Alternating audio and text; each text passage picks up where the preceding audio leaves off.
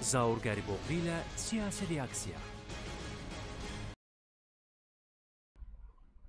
Hər vaxtınız xeyir əziz dostlar, dəyərli izləyicilər. Reaksiya TV-nin efirində siyasi reaksiya verilişinin növbəti buraxılışıdır. Hamınızı salamlayıram və öncədən xahiş edirəm ki, bizi YouTube-da izləyənlər xüsusilə yayımımızı indidən bəyənin, paylaşın. Çox maraqlı söhbətimiz olacaq. Eyni zamanda gündəmimiz də doludur və e, əsas məsələ yayımı bəyənib paylaşmağınızdır ki, YouTube-un yeni qaydalarıdır. Yayım bəyənilib paylaşılmalıdır ki, daha çox şəxsə çata bilsin. Gündəmdə öndə bu dəqiqə əsasən Türkiyədəki seçkilərdir. Seçkilərin ikinci tura qalmasıdır 28 may tarixinə. Eyni zamanda da e, sülh danışıqlarının e, Xarici İşlər Nazirləri arasında Moskvada olması da artıq mayın 19-u dəqiqləşdirilib ki, mayın 19-unda keçiriləcək, amma bu üç tərəfli mi olacaq, iki tərəfli mi olacaq, hələ bu məlum deyil. Dəyərli izləyicilər, mövzularımızı müzakirə edəcəyik Ümid Partiyasının sədri İqbal Ağazadə ilə. Hər vaxtınız xeyir İqbal bəy. Salam, xoş gördük sizi də Reaksiya televiziyasının tamaşaçılarını da salamlayıram. İqbal bəy, sizin də proqnozlarınız belə idi ki, Ərdoğan birinci turdan qalib olacaq. Amma e, nəticələr onu göstərdi ki, düzdür, orada çox böyük bir fərq yoxdur. 0.5%-lə səs çatmadı ki, birinci tur yekunlaşsın. Bu həm də bir Türkiyə müstəqil tarixində bir ilk oldu ikinci tur seçkilərini. Necə proqnozlaşdırırsınız? Niyə belə oldu ki, birinci turda müəyyən olunmadı? Əvvəla mənim proqnozum özünü doğrultdu. Ərdoğan ə, və AKP seçkilərin qalib oldu. Parlamentdə parlamentdə çoxluq əldə etdi. Bu elə nəticədir. İkinci proqnozumuz da doğruldu ki, Ərdoğan seçkiləri faktiki olaraq 5%lik fərqlə 0.5%. 5%lik fərqlə qapatdı aralarında Kamal Qılıncdaroğlu ilə və 50 üstəgəl biri keçə bilmədi və buna görə də ikinci tura qaldı.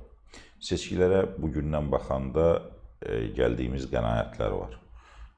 Əvvəla niyə sizin verdiyiniz suala görə niyə olmadı? Hesab edirəm ki, Ərdoğan buna böyük AKP buna böyük çaba da göstərmədi. Çünki Ərdoğanın ittiham olunduğu ən böyük e, tərəf onun avtoritar və diktator olması idi.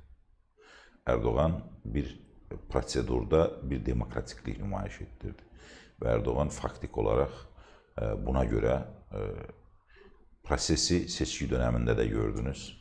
Əvvəlki illərin seçki aktivliyindən daha aşağı idi və e, özü həm görüşlərini, həm tədbirlərini, həm hətta mesajlarını belə çox qısıtlı, çox zəngin olmayan səviyyədə həyata keçirirdi və Ərdoğan ümumən hesablamışdı ki, nəticələr necə olacaq və ümumən hesabladığına görə də onun üzərinə gəlinən bu sahədə e, bütün e, ona yönəlik ittihamların hamısını darmadağın etdi.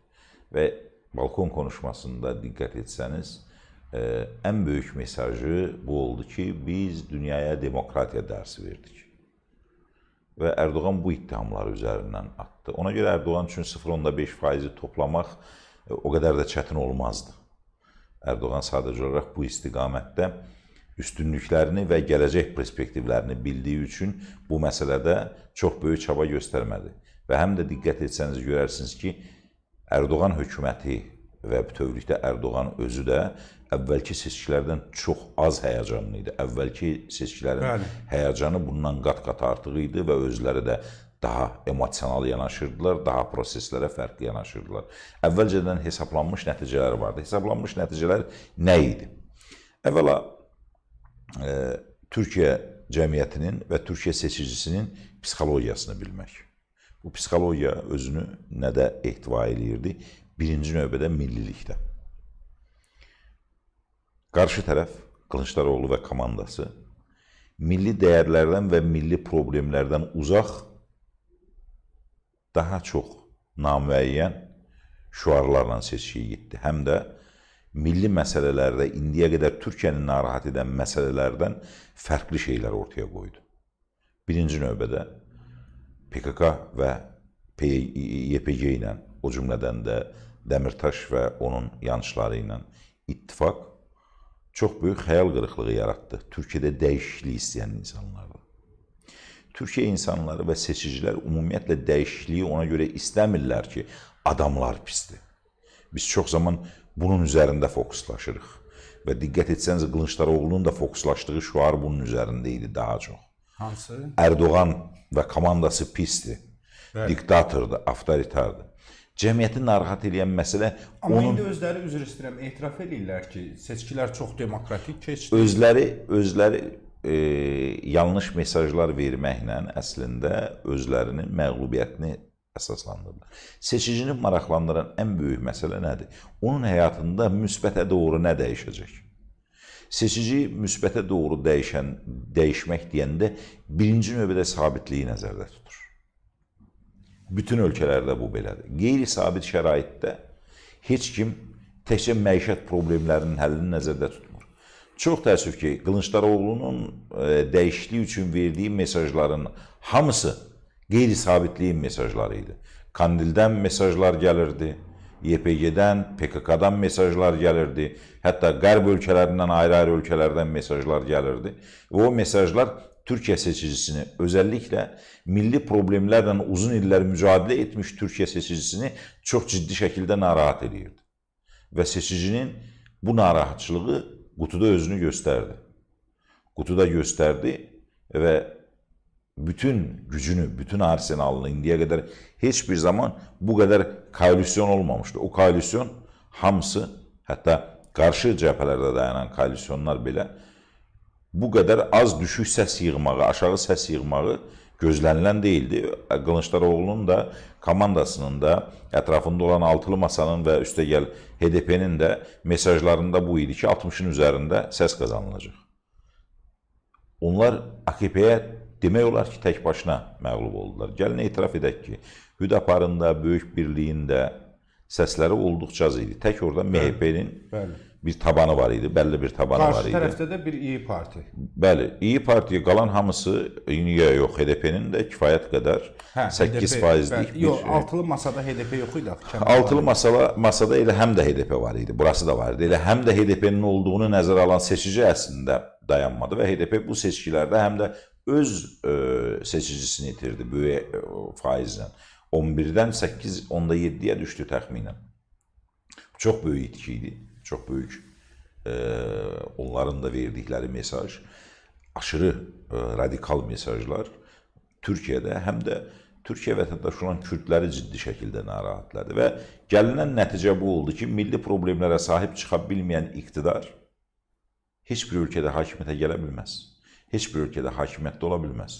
Bu yeri gəlmişkən ilə Azərbaycan tərəfə də, Azərbaycan müxalifətinə də bütövlükdə genəldə siyasətdə olan insanlara da aiddir ki, nicatı başqa-başqa ölkələrdən yox, seçicidən və seçiciyə verilən mesajlardan gözləmək lazımdır. Doğru. Sadə bir misallar var. Bir uşağa və yaxud da bir adama bir yaxşılıq edəndə belə, hətta təmənnasız edəndə belə, dərhal insanların fikrində belə bir şey oyanır. Görəsən bu mənə niyə bunu etdi? Bu qədər ölkələr bir adamı hakimiyyətə gətirmək barədə, qruplar bir adamı hakimiyyətə gətirmək barədə düşünürlərsə, hətta Ərdoğandan xoşları gəlməsə belə, seçicinin qarşısında bir sual yaranır. Acaba niyə?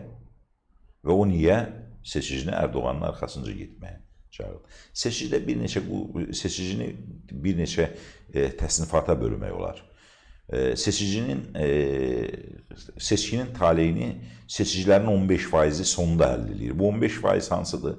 Onun 10 faizi seçki gününə qədər mövqeyini ifadə etməmiş seçicidir. 5 faizi isə seçkili anında qutuya gedən də həll edən məsələdir. Bu 15 faiz həll edir. Qalan artıq bölünmüş kütlədir seçki dönəmində seçici olaraq bölünmüş tərəflərdir.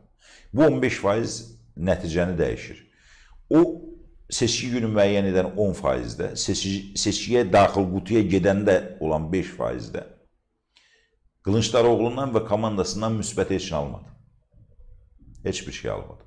Diqqət edin son mesajlara. Qutulara sarılın. Erdoğan bunu seçki günü verdi mesajını. Bəli. Seçkinin hətta sonunda verdi Bəli. mesajını. Ən sonunda. Qılıncdaroğlu bunu əvvəl verdi. Qutulara sarılın demək şaşqın. Mövqeyini müəyyən etməmiş seçicilərin tərəddüdünü birə beş artırır. Niyə artırır? Deyir ki, adam məğlub olmanın psixologiyasını yaşayır. Adam saxtakarlıq olaraq hakimiyyətin seçiləcəyinə inanır. Adam öz məğlubiyyəti ilə barışır. Onda Və seçicinin, Ərdoğan üzə- bəs seçicinin üzərinə. Erdoğan isə sonda qarşıdurma olmasın deyə və bundan istifadə etməsinlər deyə seçkidən sonra artıq qutular bağlanandan sonra verdi. Bunlar fərqli-fərqli dönəmlərdir. Mən o 15% seçici seçici üçün deyirəm. 15% seçicinin rəyinin dəyişməsində həm də Qılıncdaroğlunun bu mesajları kifayət qədər ciddi oldu.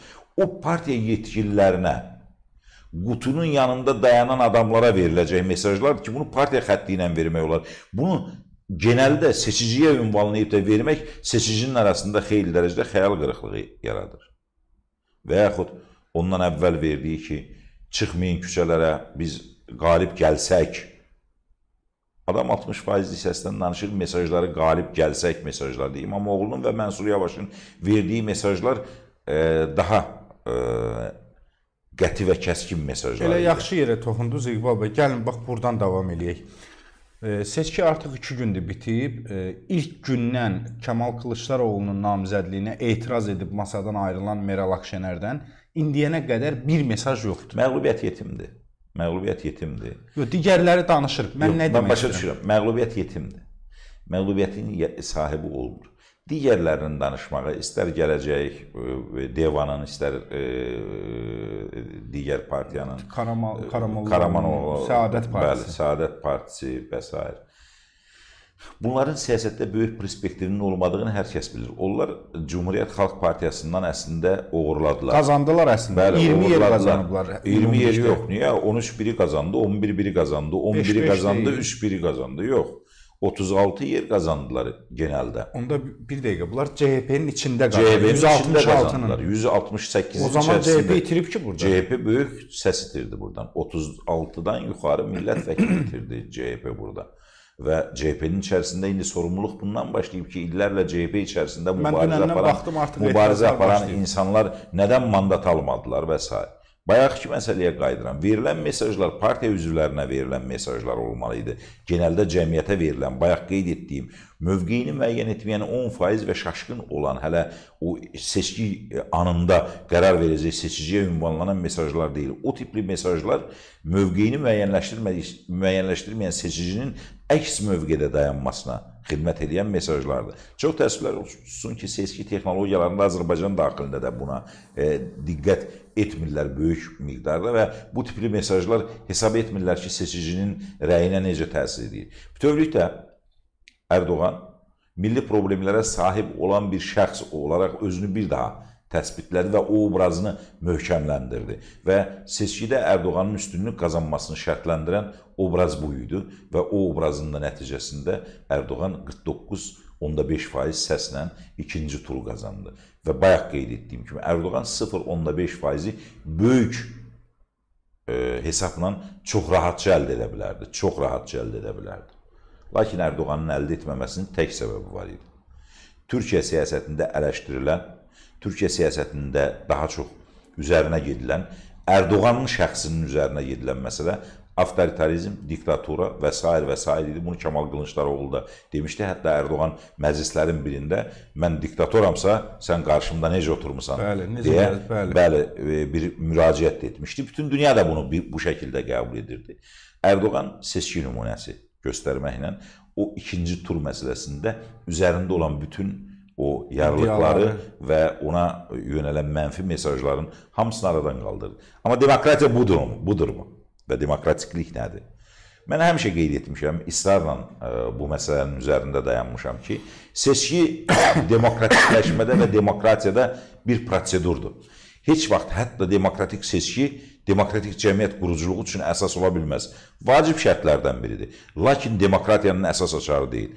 Demokratiya təfəkkür və düşüncə məsələsidir. İndi mövcud seçkilərə, hətta prezident, mövcud prezident bütün imkanlarına rəğmən seçkini 0.6% saxtalaşdırmayaraq ikinci tura gedir, gedirsə, Türkiyədə demokratiklik və layiqlik məsələsi istənilən səviyyədədir demək olarmı? İsrarla deyirəm ki, yox. Niyə? Çünki demokratiyada yenə deyirəm, seçki yalnız prosedurdur. Düşüncə məsələsidirsə, heç vaxt normal demokratik ölkələrdə düşüncəsi Demokratik olan insanlar 20 il hakimiyyətdə olmuş adamlara səs verməzlər. Verirlərsə artıq demokratik cəmiyyət və demokratik düşüncədən danışmaq mümkün deyil. Demokratik cəmiyyət quruculuğunda, demokratikləşmədə ümumiyyətlə qanunları pozaraq və yaxud da istifadə edərək və yaxud da 20 il hakimiyyətdə olaraq özdə birbaşa seçki nəticəsində deyək ki, parlamentdə partiya çoxluq qazanaraq hakimiyyət qurma məsələsində yox. Tutaq ki, Böyük Britaniyada ə, ə, hakimiyyətdə baş nazir kimi son ə, bir ildə üç dəfə baş nazir dəyişikliyi oldu. Kabinədə adamlar dəyişdi, amma partiyalar yerində qaldı. Partiyalar üstünlük qazanmışdı. Bunlar ayrı-ayrı məsələlərdir. Ona görə də birbaşa prezident kimi seçiləndə 20 il hakimiyyətdə qalanda heç kimə səs verməzlər. Ümumiyyətlə bu barədə düşünməzlər. Demək ki, cəmiyyət özü demokratik deyil. Erdoğan cəmiyyətin demokratikliyini yox, prosedurun demokratikliyini, seçki prosedurunun demokratikliyini təmin edir. Amma İqbal bəy, indi Erdoğan olmasaydı, mən yəni... fikrimi, mən fikir, mən o məsələlərə də qayıdacağam. Mən fikrimi tamamlayım, xahiş edirəm. Buyurun, buyurun. Və prosedurun demokratikliyi onun göstəricisi deyil ki, cəmiyyət demokratikdir. Türkiyə demokratik cəmiyyəti demokratik düşüncə və təfəkkürdə xeyli dərəcədə uzaqdır. Xeyli dərəcədə. Bunun obyektiv, subyektiv səbəbləri var, mental dəyərlər var, idarə etmə e, və e, maariflənmə məsələsi var. Çox böyük bu, bu sahədə problemlər var. Lakin Ərdoğan Türkiyə cəmiyyətinə lazım idimi? Ərdoğan seçilməli idimi? Mütləq mənada. Mən çox açıq ifadə etmişdim seçkidən öncə də bunu. Dünya bugün demokratiyanın arxasınca qaçmır. Dünyanın bugün demokratiya adlı bir dərdi yoxdur. Dünyanın bugün maraqlar dərdi var. Dünya bugün daha çox maraqlarının arxasınca qaçır ümumi dəyərlər və universal dəyərlər anlayışından müdafiə xarakterli və yaxud da universal dəyərlərin qorunması istiqamətində dünyanın hər hansı bir başladığı bir çabada yoxdur.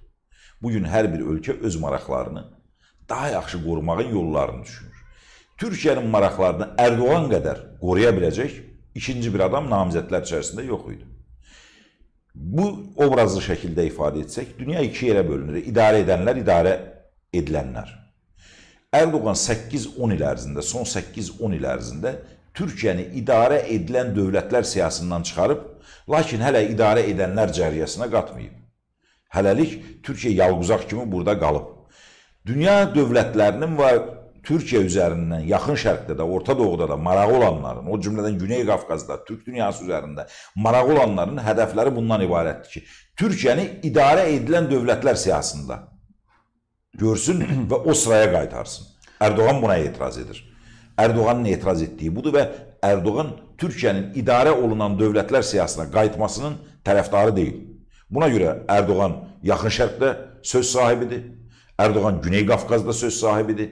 Erdoğan Rusiya dünya münasibətlərində söz sahibidir. Erdoğan Türk dünyasının, Türk Cumhuriyyətlərinin, Türkistan Respublikalarının üzərində bu və ya digər şəkildə söz sahibidir.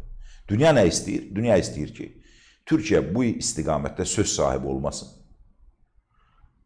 Ləbbeyk deyən camiədən biri olsun. Hə, o ilk sırada, idarə olunanların ilk sırasında olsun, bir boy artıq göstərsin. Türkiyə buna razı deyil. Buna görə mütləq Erdoğanın olması bu dönəmdə həm Türk dünyası üçün, həm Güney Qafqaz üçün, həm də digərlər üçün vacib idi. Sual olunur, demokratiyadan və demokratiklikdən danışan birinin bu mövqeni qoyması təzadlar təşkil etmirmi? Bir misalı bir daha çəkəcəm. Türkiyədə zəlzələ olanda, bunu sizin efirdən bir dəfə demişəm, bir daha istəyirəm deyim. Türkiyədə zəlzələ olanda Türkiyəli dostlarımızdan biri dedi ki, Yaponiyada zəlzələ olarkən heç bir bina uçmadı. Hakimiyyətin münasibəti orada tikintiyə belə idi, idarə etməyə belə idi və s. və s. orada çox yaxşı idarə edirlər. Türkiyədə isə belə deyil. Mən bir misal çəkdim və bizə Yaponiya kimi bir dövlət qurmaq lazımdır dedilər. Mən orada bir misal çəkdim. Dedim, baxın, Yaponiyada bankda işıqlar sönür, stolun üstündə, masanın üzərində xeyli pullar olur.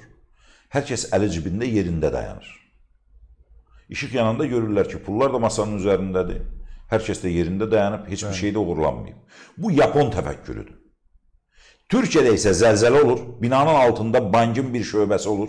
Bankın o şöbəsinin uçan binasına digər uçan binaların altında inləyən insanlar olurlar. Bir qrup oradan qaçır o bankın o şöbəsinin olduğu yerdən pul uğramağa. Bəli.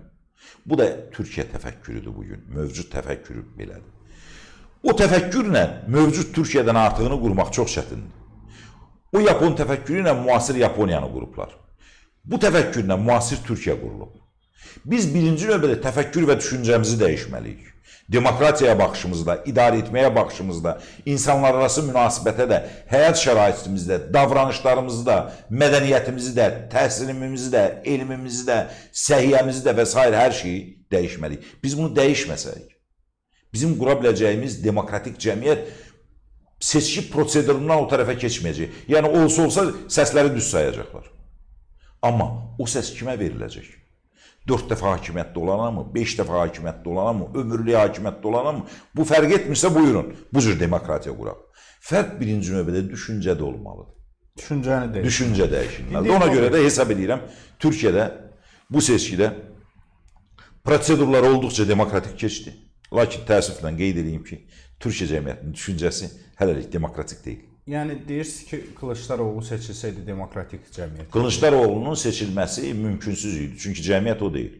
Bəs onda niyə deyirsiniz ki, düşüncə Düşüncə pisdir, düşüncə pisdir, bilirsinizmi? Düşüncə o Yaxşı kimə səs verməli idi türk cəmiyyəti? onu Türkiyə xalqı həll edir. Mən həll etmirəm. O zaman o Türkiyə xalqı da həll Və etdi də. və Türkiyə xalqının da həll etdiyi cəmiyyət bu qədər olur. Yəni demək istədiyim budur ki, artıq şeylər gözləməyin. Çünki Türkiyə cəmiyyətinin özünün qura biləcəyi demokratiklik təfəkkürə və düşüncəyə uyğun olaraq bu qədərdir. Bundan artıq deyil.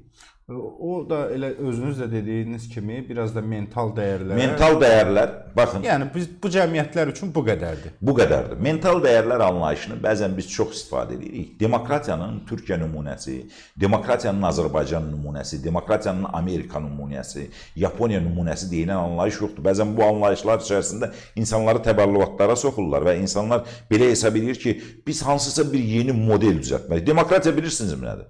Demokratiya qanunların icrasıdır. Qanunlar necə qəbul olunmalıdır? Yerli və digər şəraitləri nəzərə alaraq. Biz bu gün yerli şərait deyərkən Azərbaycanın hansı coğrafiyada olduğunu nəzərə almalıyıq. Biz Azərbaycan olaraq Avropa coğrafiyasındayıq. Avropa Şurasının üzvüyük. Avropa Birliyi ilə şərq tərəfdaşlığı çərçivəsində e, əməkdaşlıq edirik. Özümüzü Avropa e, demək e, cəmiyyətinin bir hissəsi hesab edirik. Hətta futbol komandalarımız, idmançılarımız Asiya çempionatında deyil, Avropa çempionatında oynayır və s. Biz bu coğrafiya. Biz bu coğrafiyadayıqsa, biz qanunlarımızı buna doğru dəyişməliyik və bu qanunlar çərçivəsində Məsələn, ölüm hökmü ləğv olunub Azərbaycanda da, Avropanın əksər ölkələrində, demək olar bütün ölkələrində. Çox normal. Lakin bu o demək deyil ki, ölüm hökmü ləğv olunubsa Avropa sayağı tutaq ki, burada biz Hollandiyadakı kimi əks cinslərin evlənməsi haqqında da qanun qəbul etməliyik. Yox. Məsələ bu deyil. Lakin qəbul etdiyimiz qanunların hamısının icrası normal təmin olunmalıdır. Demokratikliyi və təfəkkürdə dəyişikliyi icralar gətirir, nümunələr gətirir. Təkcə qanun yox. Azərbaycan qanunlarının hamısı olduğu kimi icra olunmuş olsaydı və təhsilimiz, elmimiz, səhiyyəmiz, məişətimiz və s. bunlar dəyişmiş olsaydı, biz çoxdan demokratik təfəkkür və düşüncəyə malik. Lakin bizim hələlik cəmiyyət olaraq, genel olaraq Türkiyə cəmiyyətindən böyük fərqimiz yoxdur. Deməli İqbal bəy, artıq ikinci turun nəticələrini belə deyək də proqnozlaşdıranda Ərdoğanın ikinci turda qalib gələcəyini bilmə, bilməmək yəni asan çətin deyil. Ərdoğan seçiləcək belə görünür. Seçiləcəyi təqdirdə deyirsiniz ki, ə, Türkiyə artıq idarə olunanlardan deyil, amma idarə edənlərdən də deyil də indiki mərhələdə. Növbəti 5 ildə necə olacaq? Əvvəl onu qeyd edeyim ki, hələ Kamal Qılıncdaroğlu alternativ olacağı barədə heç bir söhbət yox idi. Altılı masa hələ namizədini müəyyən etməmişdi. Sizin efirdən buradan e, müsahibələrimin birində dedim ki, Ərdoğanın alternativi Kamal Qılıncdaroğlu olacaqsa, Yadımdadır. Ərdoğanı təbrik edirəm. Təbrik edim. Bəli, yadımdadır. Və bu gün də sözümün üzərində qalıram. Bayaq dedim o 0.5 faizin əslində yükü nə idi, onu da izah etdim. Nə olacaq? Ərdoğan çox çalışacaq ki, Türkiyənin növbəti 5 ildə idarə edənlər sırasına qatsın. Amma Ərdoğan da sonuncu seçkisidir. Ər, başa düşdüm. Amma Ərdoğan çox çalışacaq ki, tarixdə bu yerdə qalsın. Bu gün Türkiyənin çox böyük üstünlükləri və çox böyük irəliləyişləri var. Türkiyə bu gün dünya hərbi sənayesinin içərisinə girib. Türkiyə bu gün yaxın şərqdəki proseslərə təsir edən ən böyük düzgün xarici siyasət yürüdən dövlətlər siyasında birincidir. Türkiyə Güney Qafqaza təsir edən üç güc mərkəzindən Qərb dünyası, Rusiya və Türkiyə mərkəzlərindən biridir. Cənubi Qafqazdakı proseslərə təsir edir. Türkiyə bu gün Türkistana, Orta Asiya Cümhuriyyətləri üzərində təsiri olan ilk üç dövlətlərdən biri və bəlkə də birincisidir. Avropa Türkiyə ilə hesablaşır. Elə seçki dövründə Almaniyanın deputatlarından, Modest e, Tağın deputatlarından birinin çıxışı çox maraqla qarşıladım mən. İsmini unutmuşam. O qeyd edirdi ki, Türkiyə dünya üçün, həm də Avropa üçün vacib olanıdır. Biz Türkiyə ilə qarşı durma mühitində olmamalıyıq. Türkiyə ilə bir yerdə olmalıyıq.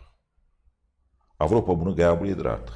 Fransanın lokal maraqları var bu istiqamətdə Türkiyə ilə düşmənçilik eləyir. Amma mən hesab edirəm ki, Türkiyənin növbəti 5 ildə Ərdoğanın yanında təkcə Türk dünyası olmayacaq.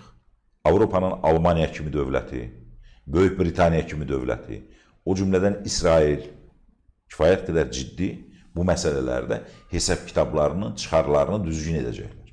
Və bu istiqamətdə Türkiyə dünyanın idarə edənlər siyahısına çox yaxınlaşacaq. O siyahıda demirəm ki, ilk beşlikdə olacaq, amma ilk onluqda mütləq olacaq. Dünyanın ilk onluğunda Türkiyə dövlətinin adını Bunun yazacaq. bizə ə, nə faydası olacaq? Türkiyə ya biz eyniyik.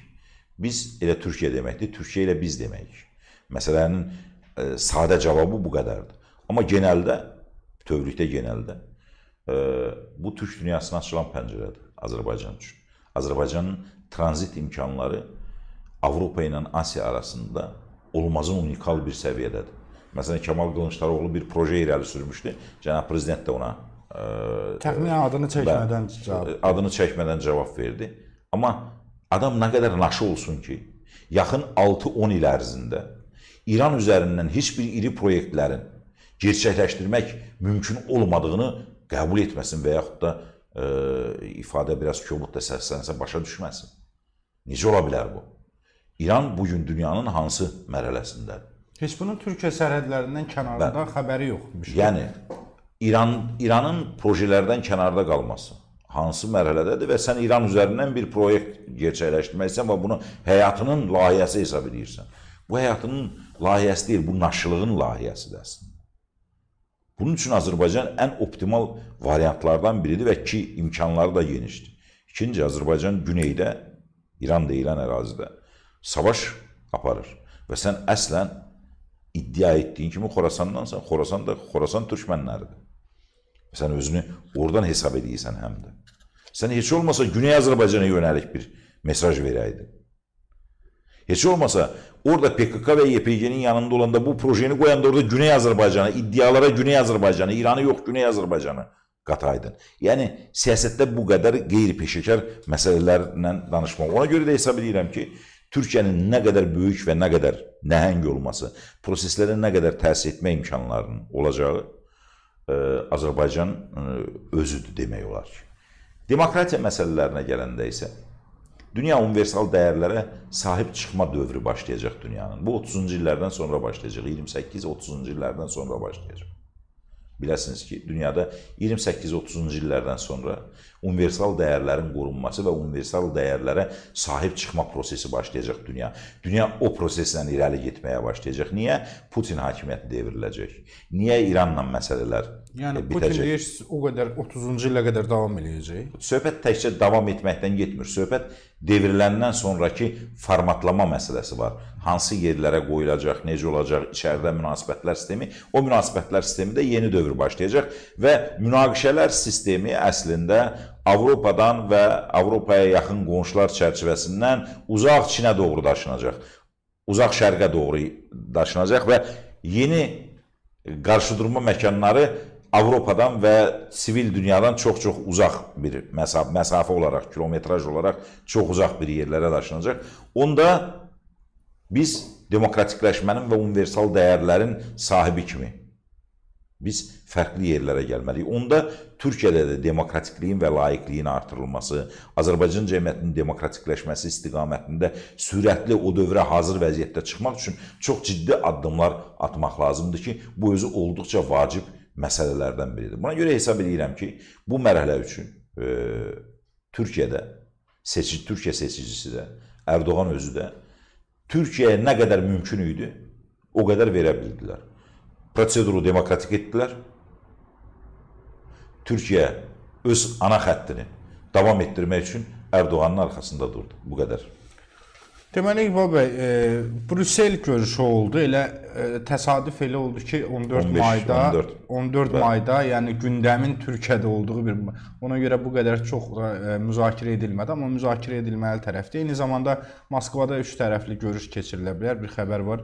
İrəvanda e, İrəvanda istisna İrəvanda istisna etmirlər ki, İrəvanda Ermənistan və Rusiya Xarici İşlər Nazirliyinin başçıları Ararat Mirzoyan və Sergey Lavrovun görüşü ilə mayın 19-da Moskvada keçirilə bilər.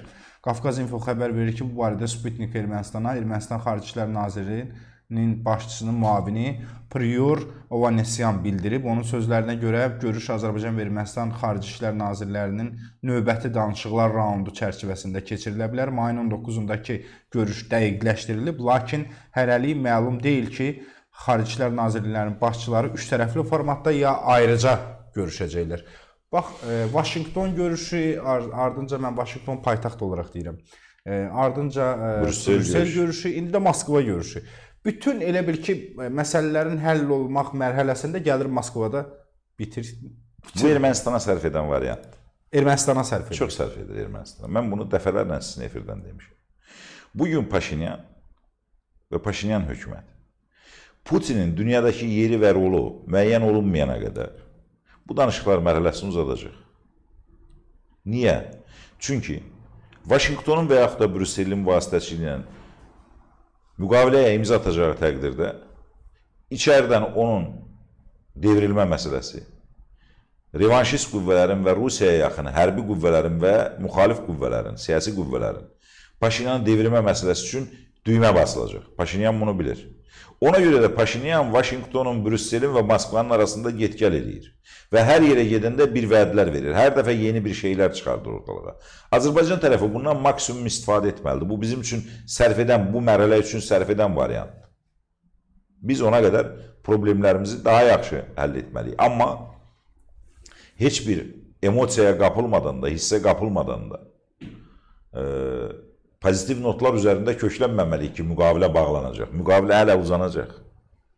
Məsələn, indi 75-ci il xəritəsini qoymuşdu Paşinyan getməmişdən Bəli. əvvəl. Orada 91-ci il xəritəsini qoydu. O bilir ki, 91-ci il xəritəsi ilə 75-ci il xəritəsi ilə və yaxud da başqa xəritə ilə müxtəlif problemlər çıxacaq ortalığa. O problemlər də hamısı müzakirə olunacaq.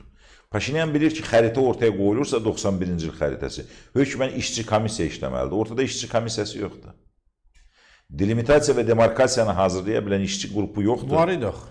O Moskvanın yaratdığı işçi qrupu idi və onlar da uzun müddət işləmir. Azərbaycan tərəfindən səhv etmirəmsə baş nazirin müavini hörmətli Şahin Mustafayev təmsil olunurdu həmin komissiyada. Bəli. İşləmirlər bunu. Başa düşürsüz, bu işlənmirsə qəbul edin ki, hətta danışıqlar mərhələsində razı oldularsa ondan sonra işçi qrupunun uzun müddət işləməyi və razılığa gəlməyi lazımdır. Nöqtələr, koordinatlar keçməlidir bunu, yer quruluşu işləməlidir. Sizcə hansı xəritə Torpaq istifadə komitəsi- olunmalıdır? Hansı xəritələrin istifadə olunmasından asılı olmayaraq Azərbaycanın bu istiqamətdə danışıqlar mərhələsində masaya qoymalı olduğu iki məsələ var. 1. 69, 82, 84, 86-cı il. Azərbaycan Nazirlər Kabineti SSR Nazirlər Kabinetinin tövsiyəsi və qərarı ilə Ermənistanda torpaq qıtlığı, örüş yerlərinin və əkin torpaqlarının azlığına görə müvəqqəti Ermənistanın istifadəsinə verildi- verdiyi torpaqları geri almalıdır. Bu danışıqlar predmetində masaya qoyulmalıdır. Bu bir. İkinci, danışıqlar masasında ən Azərbaycanın üzərinə getməli olduğu məsələ Ermənistanın Azərbaycan ərazisində erməni əsilli vətəndaşların hər hansı bir halda separatçılığa, ölkənin bölücülüyünə və s. silahlı və yaxud da dinç qiyamlara heç bir halda dəstək verməyəcəyini dövlət kimi öz üzərinə götürməyi bacarmalıdır. Təkcə Azərbaycanın ərazi bütövlüyünü tanımaq məsələ şərt deyil. Bizim ərazi bütövlüyümüz zaten şübhə altında değildi. Bizim heç BMT ərazimizi 1992-ci ilin 2 avqust 2 martında BMT-yə qəbul edərkən bizim dövlət sərhədimizi şübhə altına salmalı. İndi bizim Ermənistan mı ərazi bütövlüyümüzü şübhə altına salacaq? Əsla. Məsələ demək Azərbaycanın ərazi bütövlüyünü tanıması məsələsi deyil. Bizim onsuz da ərazimiz küp altında deyildi. ATƏT də tanıyıb, BMT də tanıyıb, Avropa Şurası da tanıyıb, Avropa Birliyi də tanıyıb, ayrı-ayrı ölkələrdə münasibətlərində bunu bildiriblər. İndi Ermənistanı tanımaq ilə biz elə ərazimiz bütöv oldu. Yox. Ermənistan bu məsələdə hansı rol oynayıb?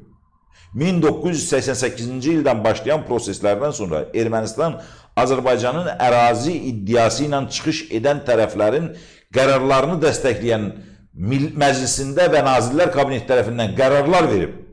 Bu qərarlar avtomatik ləğv olunmalıdır. Ermənistan bunu publik olaraq deməlidir. Deməlidir ki, biz Ermənistan SSR-in 1989-cu ildə Ermənistan Ali Sovetinin qəbul etdiyi bu qərarı, birləşmək qərarı ilə bağlı qərarı dəstəkləmək. Bu qərarın qüvvədən düşdüyünü, filan qərarın qüvvədən düşdüyünü və s. və s. elan edib. Azərbaycanın ərazi bütövlüyünü dəstəkləyir o cümlədən üzərinə öhdəlik götürür ki, bundan sonra Azərbaycan ərazisində yaşayan erməni əsilli vətəndaşların Azərbaycanın ərazi bütövlüyünü bölmək, orada separatçılıq əməllər həyata keçirmək, müstəqil və yaxud da başqa bir dövlətə birləşmək kimi əməllərini heç bir halda dövlət kimi dəstəkləməyəcəyik. Aynen. Bu mütləq müqavilənin şərtlərindən biri olmalıdır. İqbal bəy, siz ixtisasçı həm də hüquqşünassınız. Mənim sizə bir sualım var və yekunlaşdırıram yəni verilişi də yekunlaşdırıq. Baxın, Azərbaycan 1918-ci ildə öz cümhuriyyətini qurdu və o zamanki SSR-in də tərkibinə həminki e, xəritə ilə daxil olmuşuq da o dövrün Bəli. xəritəsinə. Və yenidən 1991-ci ildə isə müstəqilliyimizi elan edən dedik ki, biz onun varisiyik. 18-ci ilin varisiyik. Əgər 18-ci ilin də qurulan cümhuriyyətin varisiksə hə, və bu parlament də o parlamentin varisidirsə, Nədən bu parlament toplanıb həmin o dövrdəki xəritələri müzakirə eləmir? Biz Zəngəzuru müzakirə Biz bu eləmir. məsələdə olduqca böyük yanlışlıqlara yol verdik 1988-ci ildə. 1988-ci ildə hətta 89-cu ilin sentyabr ayında müstəqillik haqqında akt qəbul olunanda parlamentdə ə, və 91-ci ilin 29 avqustunda qəbul olunanda səhv etmirəmsə 29 avqust idi. Bu dövrdə parlamentdə müstəqilliklə bağlı qərarlar və yaxud da deklarasiyalar qəbul olunanda Azərbaycan özünü varis kimi təqdim edəndə mütləq xəritələri qoymalı idi ortalığa. Azərbaycan çox təəssüflər olsun ki, bu məsələlərdə olduqca gecikdi, olduqca ləng hərəkət etdi və yaxud da bu məsələlərin heç fərqinə varmadı. İndi münaqişənin bu mərhələsində sülhə doğru getdiyi bir yerdə Azərbaycanın bunu qoyması və yaxud da müzakirə etməsi biraz Dünya Birliyi tərəfindən və digərlər tərəfindən Azərbaycanın əleyhinə və Azərbaycanın fərqli bir mövqeyə dartan, mövqelərini zəiflədən, həm də Qarabağdakı mövqelərini zəiflədən amillərdən birinə çevriləcək. Bəlkə növbəti mərhələlərdə bu məsələlər qoyula bilər, lakin bu mərhələdə bizim tərəfindən, müxalifət tərəfindən bunun qoyulması çox normal. Jurnalistlər tərəfindən bunun tartışılması çox obyektiv və həm də gərəkli. Amma hakimiyyət tərəfindən bunun qoyulması nəticə itibarilə danışıqların bu mərhələsində Azərbaycanın pozuculuq və torpaq iddiası kimi çıxış edən tərəf, yəni nədir? 91-ci ildə əgər söhbət o iddiadan gedəcəksə, 91-ci ildə biz e, müstəqil olandan sonra 1992-ci ildə Birləşmiş Millətlər Təşkilatının bizi qəbul etdiyi sərhədlər çərçivəsi var. Və biz Birləşmiş Millətlər Təşkilatına bu sərhədlər çərçivəsində daxil olmuşuq. Və bir dünyada Birləşmiş Millətlər təşkilatı da Azərbaycanı 86.9 min kvadrat kilometr ərazi ilə onda 6 86.6 min kvadrat kilometr ərazi ilə tanıyıb. Bu 86.6 min kvadrat kilometr ərazidən artıq qoyacağımız artıq başqa dövlətlərin ərazilərinə iddiadır. Əgər biz bu məsələni biraz əvvəldən qoymuş olsaydıq nəyə nail olardıq? Nail olacağımız Ermənistanda o zaman hələ e, noyabr, dekabrın əvvəllərinə qədər qovulmayan 200 minə yaxın soydaşımızın orada muxtar respublika statusu alması və yaxud analoji qaydada bizim müdafiəni düzgün təşkil etməmiz və s. çox şeylər var burada. Bilirsiniz, tarixi açsaq gərək yanlışdır. Amma bugünkü mərhələdə bunun qoyulması ərazi iddiası kimi xarakterizə oluna bilər. Çünki hüquqi nöqteyi nəzərdən Birləşmiş Millətlər Təşkilatına bizdə Ermənistanda bu ərazilər çərçivəsində qəbul olunur. Gələcəkdə necə bəs? Gələcək gələcəyində onu da müzakirə etmək lazımdır. Biz gələcəkdə çox şey iddia edirik. Biz Cənubi Qafqazın ən çox əhalisi olan iqtisadi cəhətdən ən imkanlı tərəfindəyik. E, yer bizimdir və biz Cənubi Qafqaz Birliyi altında Avropanın bütövlükdə bu gün Almaniya və Fransa hansı rol oynayırsa, Cənubi Qafqazda Azərbaycan o rol oynamalıdır. Çox sağ olun İqbal bəy, təşəkkür edirəm. Belə dəyərli izləyicilər, daha bir buraxılışımızın sonuna gəldik. Sonda bir daha hamınızdan xahiş edirəm ki, yayımı bəyənin, paylaşın, abunə olun və eyni zamanda Telegramda Reaksiya TV-ni tapıb abunə olmağı unutmayın. Sağlıqla qalın.